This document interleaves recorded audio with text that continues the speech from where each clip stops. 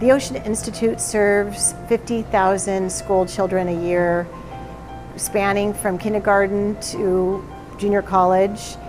We are involved in programming around maritime history, outdoor education, as well as what we're known for, and, that's ocean education. We're lucky enough to be able to serve 10,000 children through our Adopt a Class program that wouldn't ordinarily have an opportunity to take a field trip or even to see the ocean. So we're very proud of our outreach and most proud of being able to expose these children to the curiosities and world of science.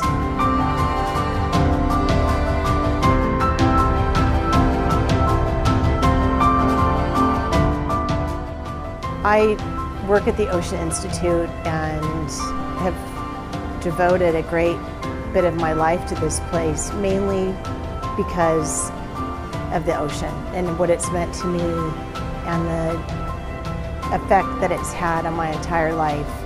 So when I see the children arrive and getting off the school buses and hear their excited voices below my window, I think about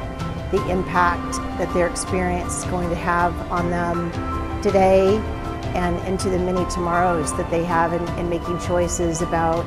making a, a, decision whether they're going to throw something down the drain that leads to the ocean or have a plastic straw that goes into the trash or throw a plastic bag down that could possibly become harmful for a, a sea turtle. This drives me and it drives all of us that work at the Ocean Institute. Mary's love for the ocean, which I've seen for a long time,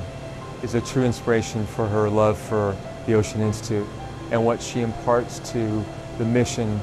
to children, to seeing the glee on their faces as they enjoy the ocean for the first time. They take away an appreciation that may be lifelong and that may inspire them to become true stewards and ambassadors of the ocean. She truly is a powerful influence and contributor that gives from her heart and her soul. Being in leadership at the Ocean Institute in general, but most specifically being in leadership now,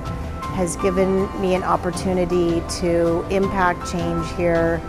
and inspire our staff in a time of leadership changes and funding changes and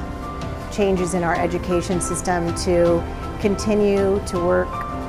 with that end in mind, that we're impacting lives every single day.